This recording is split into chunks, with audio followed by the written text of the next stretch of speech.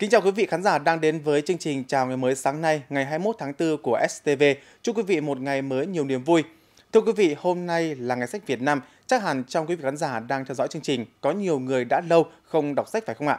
Trong đời sống hiện đại ngày nay, bị chi phối bởi rất nhiều phương tiện nghe nhìn khác, thì việc sao lãng đọc sách dường như là điều không khó lý giải. Tuy nhiên, chúng ta cũng không thể phủ nhận vai trò truyền thụ tri thức của sách dù ở bất kỳ thời đại nào, trong đó có cả đối tượng độc giả nhỏ tuổi. Chúng ta sẽ còn trở lại với vấn đề này trong hồi cuối của chương trình sáng nay. Nhưng trước hết, mời quý vị cùng theo dõi phần tin tức. Trong nhiệm kỳ 2016-2021, các đại biểu Quốc hội của tỉnh Sơn La luôn nêu cao tinh thần trách nhiệm, nắm bắt nguyện vọng của cử tri, tham gia nhiều ý kiến vào các nội dung quyết định của Quốc hội, góp phần xem xét quyết định các vấn đề quan trọng của đất nước. Đặc biệt trong nhiệm kỳ Quốc hội khóa 14 đã ban hành hai nghị quyết quan trọng mang tính lịch sử trong lĩnh vực dân tộc. Nghị quyết số 88 ngày 18 tháng 11 năm 2019 phê duyệt đề án tổng thể phát triển kinh tế xã hội vùng đồng bào dân tộc thiểu số và miền núi giai đoạn 2021-2030 tại kỳ họp thứ 9 và nghị quyết số 120 ngày 19 tháng 6 năm 2020 phê duyệt chủ trương đầu tư chương trình mục tiêu quốc gia phát triển kinh tế xã hội vùng đồng bào dân tộc thiểu số và miền núi giai đoạn 2021-2030 tại kỳ họp thứ 10. Đây là cơ sở pháp lý quan trọng để các cấp các ngành tập trung phát huy mọi nguồn lực để phát triển vùng đồng bào dân tộc thiểu số và miền núi nhanh, bền vững. Các nghị quyết ban hành đã đáp ứng được nguyện vọng của đồng bào và củng cố niềm tin của đồng bào các dân tộc vào sự lãnh đạo của Đảng và Nhà nước. Sau hội nghị hiệp thương lần thứ ba, huyện Thuận Châu có 59 người đủ tiêu chuẩn được lập danh sách ứng cử để cử tri bầu ra 35 đại biểu Hội đồng Nhân dân huyện khóa 21 và 1.111 người được lựa chọn lập danh sách chính thức ứng cử để bầu ra 663 đại biểu Hội đồng Nhân dân các xã thị trấn nhiệm kỳ 2021-2026.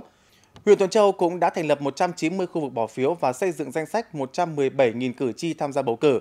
Để cuộc bầu cử đại biểu Quốc hội khóa 15 và bầu cử đại biểu Hội đồng Nhân dân các cấp nhiệm kỳ 2021-2026 trên địa bàn huyện thành công tốt đẹp, công tác thông tin tuyên truyền về bầu cử được huyện đặc biệt quan tâm bằng nhiều hình thức như căng treo khẩu hiệu tuyên truyền, chiếu phim lưu động, xây dựng chuyên mục về bầu cử bằng tiếng phổ thông và tiếng Thái phát trên hệ thống loa truyền thanh để nhân dân kịp thời nắm bắt thông tin về cuộc bầu cử. Trên hệ thống cổng thông tin điện tử của huyện và hệ thống thông tin cơ sở, thường xuyên cập nhật các văn bản lãnh đạo chỉ đạo liên quan đến các nội dung về cuộc bầu cử. Huyện Tuần Châu cũng đã chủ động chuẩn bị các điều kiện về cơ sở vật chất đảm bảo an ninh trật tự, tăng cường công tác kiểm tra giám sát, bảo đảm tiến độ và thời gian các bước chuẩn bị của bầu cử theo đúng quy định. Với phương châm đẩy mạnh xuất khẩu nông sản theo hướng hiệu quả bền vững, tỉnh Sơn La luôn xác định chất lượng nông sản là yếu tố hàng đầu giúp nông sản Sơn La chinh phục được thị trường tiêu dùng trong nước và xuất khẩu. Trước nhu cầu của thị trường trong nước và xuất khẩu, tỉnh Sơn La đã triển khai xây dựng thương hiệu các loại cây ăn quả, ứng dụng kỹ thuật vào trồng và chăm sóc, trong đó có phương pháp bao quả để đảm bảo chất lượng và mẫu mã sản phẩm xoài xuất khẩu. Theo số liệu thống kê của ngành nông nghiệp, trong năm 2019 và 2020, toàn tỉnh đã bao gần 13,5 triệu trái cây, chủ yếu là xoài, bưởi da xanh, na và ổi. Với mục tiêu năm 2021 sẽ bao 10 triệu trái cây, đây là một trong nhiều giải pháp duy trì và nâng cao chất lượng nông sản hàng hóa. Qua thực tế triển khai cho thấy, việc sử dụng bao trái đúng lúc, đúng thời điểm sẽ đem lại hiệu quả kinh tế cao, hạn chế nhiều chi phí sản xuất so với không bao trái. Mẫu mã sản phẩm đẹp, chất lượng sản phẩm tốt hơn được thị trường chấp nhận, nhất là một số thị trường xuất khẩu khó tính. Đồng thời, tạo ra mẫu mã sản phẩm trái cây đồng đều, góp phần bảo vệ môi trường do hạn chế sử dụng thuốc bảo vệ thực vật nhằm hướng tới sản xuất nông sản hàng hóa chất lượng cao. Xác định phát triển cơ sở hạ tầng, đường, trường trạm là động lực để xây dựng nông thôn mới. Thời gian qua, Hội Nông dân tỉnh Sơn La đã lên kế hoạch xây dựng chương trình hành động, thực hiện các giải pháp phù hợp với điều kiện cụ thể của từng cấp hội ở cơ sở, nắm bắt những khó khăn bất cập để đề ra các giải pháp phù hợp tới các hội viên nông dân. Tính từ năm 2019 đến nay, các hội viên nông dân đã góp hàng chục nghìn ngày công lao động để sửa chữa, mở rộng, nâng cấp và làm mới nhiều tuyến đường giao thông liên bản, liên xã và hiến trên 140.000 m2 đất vườn, ruộng, xây dựng các tiêu chí nông thôn mới, góp phần làm cho diện mạo nông thôn trên địa bàn tỉnh ngày càng khởi sắc. Với phương châm nâng cao trách nhiệm của hội nông dân tham gia bảo vệ môi trường nông thôn và chủ động thích ứng với biến đổi khí hậu, các cấp hội nông dân trong tỉnh đã tham gia cải tạo cảnh quan bảo vệ tài nguyên môi trường nông thôn, chủ động ứng phó với biến đổi khí hậu, chung tay cùng chính quyền địa phương xây dựng các tiêu chí nông thôn mới. Với đặc thù là tỉnh miền núi, các tuyến đường giao thông đi lại qua khu vực núi cao, địa chất thủy văn phức tạp nên khi có mưa lũ xảy ra, nguy cơ sạt lở, sụt xa bồi và ngập úng là rất lớn. Các điểm sụt nằm cách xa nhau nên việc khắc phục thiệt hại đảm bảo giao thông gặp nhiều khó khăn. Trước mùa mưa bão năm nay, ngành giao thông vận tải tỉnh Sơn La đã chuẩn bị các phương án ứng phó với các tình huống. Và theo dự báo của Đài khí tượng thủy văn khu vực Tây Bắc, xu thế khí tượng thủy văn trên địa bàn tỉnh Sơn La từ nay đến tháng 8 năm nay có thể diễn biến phức tạp. Lũ quét và sạt lở đất có nguy cơ cao xảy ra trên địa bàn toàn tỉnh. Với mục tiêu hạn chế thấp nhất thiệt hại do mưa lũ gây ra, đảm bảo giao thông thông suốt, Sở Giao thông Vận tải Sơn La đã chủ động các phương án khắc phục thiên tai, bám sát chỉ đạo của Bộ Giao thông Vận tải, Tổng cục Đường bộ Việt Nam và của tỉnh về phòng chống thiên tai. Ngay từ đầu mùa mưa, ngành giao thông vận tải đã xây dựng kế hoạch huy động nhân lực, máy móc thiết bị, nguyên vật liệu để chuẩn bị ứng phó tại các điểm sung yếu có nguy cơ sạt lở cao, lên phương án sẵn sàng ứng phó trong mọi tình huống, đảm bảo khắc phục nhanh giao thông thông suốt nhằm phục vụ phát triển kinh tế xã hội, cứu hộ, cứu nạn, đảm bảo an toàn lưu thông. Thưa quý vị, sau một thời gian tạm hoãn tổ chức do dịch bệnh COVID-19, giải chạy Việt Nam Tre Marathon 2021 sẽ chính thức khai mạc vào ngày 23 tháng 4 tới đây do công ty trách nhiệm hữu hạn Phú Thịnh Topaz Travel phối hợp với Ủy ban Nhân dân huyện Mộc Châu tổ chức. Và đây là năm thứ ba liên tiếp giải được tổ chức tại huyện Mộc Châu.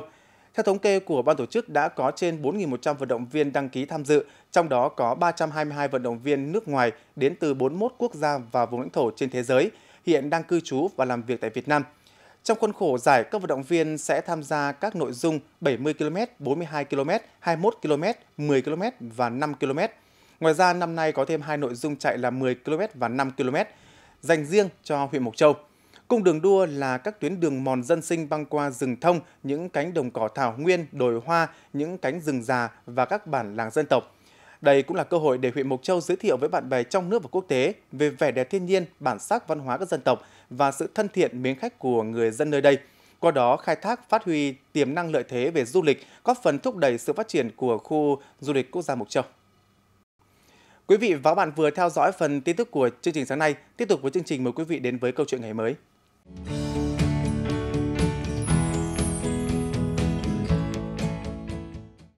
Thưa quý vị, những năm qua, huyện Sông Mã xác định lực lượng dân quân tự vệ là nòng cốt trong thế trận quốc phòng toàn dân. Hàng năm, Ban Chỉ huy sự huyện Sông Mã đã tham mưu cho Ủy ban Nhân dân huyện về công tác quốc phòng địa phương, xây dựng phát triển lực lượng dân quân tự vệ của huyện vững mạnh về chất lượng chính trị, đảm bảo khả năng sẵn sàng chiến đấu, hoàn thành nhiệm vụ được giao.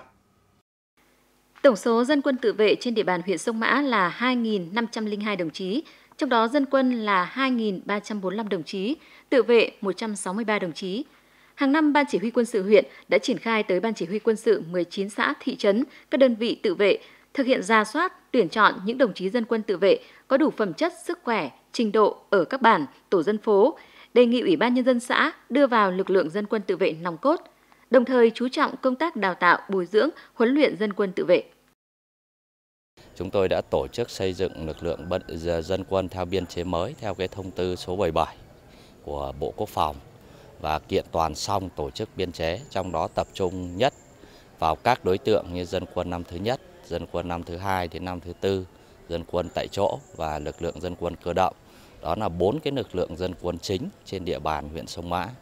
Thì chúng tôi đã xây dựng xong và sắp xếp tổ chức biên chế Ờ, vũ khí trang bị cho lực lượng này theo quy định của trên. Trong quý 1 năm 2021, đã tổ chức 7 lớp tập huấn cho 617 dân quân tự vệ là bản đội trưởng, tiểu đội trưởng, tổ trưởng binh chủng bảo đảm, khẩu đội trưởng binh chủng chiến đấu. 100% chiến sĩ dân quân tự vệ được huấn luyện, tập trung, đảm bảo đủ nội dung, thời gian quy định. 100% chiến sĩ dân quân tự vệ sử dụng thành thạo về vũ khí, trang bị kỹ thuật chiến đấu, đáp ứng nhu cầu sẵn sàng chiến đấu. Kết quả kiểm tra nhận thức chính trị hàng năm, 100% quân số đạt yêu cầu. Vâng, bản thân tôi thì qua quá trình huấn luyện tại ờ, sân bãi tập cũng như thao trường ấy thì cũng đã tiếp thu được những kỹ năng như điều lệnh của quân sự và các bước ờ, bắn súng cơ bản và luôn ờ, sẵn sàng nhận nhiệm vụ. Đến nay, toàn huyện Sông Mã có 32 đầu mối dân quân tự vệ. Số dân quân tự vệ đạt tỷ lệ 1,62% so với dân số của huyện. Tỷ lệ đảng viên trong lực lượng dân quân tự vệ là 22,66%. Không chỉ được xây dựng đủ về số lượng, lực lượng dân quân tự vệ còn không ngừng được nâng cao chất lượng tổng hợp, đáp ứng yêu cầu nhiệm vụ trong giai đoạn cách mạng hiện nay và thực sự là lực lượng nòng cốt trong thực hiện các nhiệm vụ chính trị ở cơ sở. Thì thực hiện tốt các cái ờ, ờ, nhiệm vụ và đặc biệt là yêu cầu trong cái ờ, phát triển đối với lực lượng dân quân để các đồng chí nắm rõ về chủ trương chính sách của Đảng, pháp luật của nhà nước và thực hiện tốt cái lực lượng để sẵn sàng cơ động trong thực hiện các nhiệm vụ chính trị của địa phương, đặc biệt là giữ vững à, quân sự à, công tác quân sự quốc phòng tại địa bàn xã. Có thể nói, lực lượng dân quân tự vệ có vai trò sung kích trong mọi hoạt động ở địa phương, góp phần bảo vệ Đảng, bảo vệ chính quyền, củng cố hệ thống chính trị cơ sở vững mạnh, giữ vững sự ổn định an ninh chính trị, trật tự an toàn xã hội, cùng Đảng bộ, chính quyền, nhân dân các dân tộc trên địa bàn thực hiện thắng lợi mục tiêu phát triển kinh tế xã hội của huyện.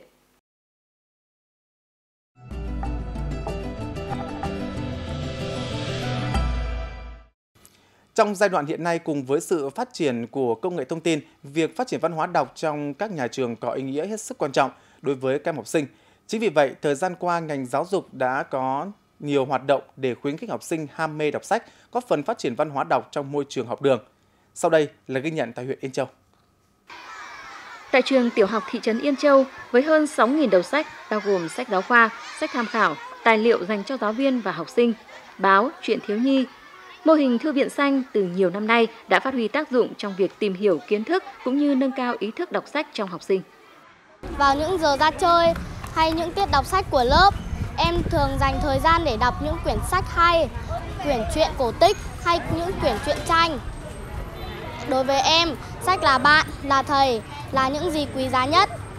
Nhờ có sách mà nhờ có sách mà em hiểu biết thêm về nhiều về những thứ xung quanh.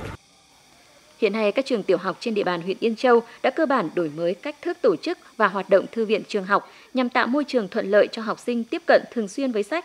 Tại trường tiểu học và trung học cơ sở Trường Pằn. mô hình thư viện xanh, thư viện thân thiện đã được phát huy hiệu quả với gần 3.500 đầu sách, cơ bản đáp ứng nhu cầu của học sinh và cán bộ giáo viên. Chúng tôi đã có được những biện pháp rất hiệu quả trong việc phát triển văn hóa đọc sách cho học sinh. Cụ thể như là tạo cho học sinh có thói quen tự học, tự nghiên cứu tài liệu. Thông qua việc tự học, tự nghiên cứu đó cho học sinh thấy được, hiểu và nhớ lâu kiến thức hơn.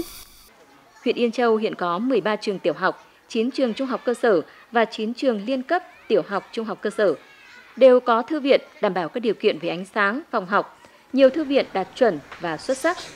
để phát huy hiệu quả việc đọc sách, các trường đã đổi mới cách thức tổ chức và hoạt động thư viện trường học, qua đó tạo môi trường thân thiện, lành mạnh để học sinh có điều kiện giao lưu, học tập.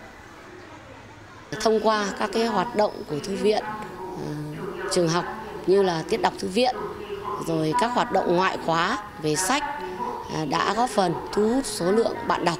đến với à, thư viện trường học ngày càng à, tăng và từ đó sẽ góp phần phát triển văn hóa đọc trong các đơn vị trường. Trong thời gian tới, các trường học trên địa bàn huyện Yên Châu sẽ tiếp tục thực hiện tốt công tác tuyên truyền tới mọi người và học sinh về vai trò, giá trị của văn hóa đọc trong thời đại hiện nay, đẩy mạnh phong trào tự học, đọc sách lan tỏa trong xã hội, nhất là trong giới trẻ. Qua đó phát triển đọc sách một cách mạnh mẽ, tôn vinh văn hóa đọc trong trường học, giúp các em học sinh tiếp cận gần hơn với kho tàng văn hóa tri thức của nhân loại, khẳng định ý nghĩa và vai trò của sách báo với cộng đồng – gắn với xây dựng và phát triển văn hóa đọc trên địa bàn huyện Yên Châu. Vâng, sách giữ vai trò rất quan trọng trong việc giúp các em học sinh có những kiến thức phong phú, phục vụ thiết thực về học tập. Hy vọng những mô hình thư viện trường học thân thiện gần gũi, kích thích niềm đam mê đọc sách của các em học sinh sẽ ngày càng được quan tâm phát triển.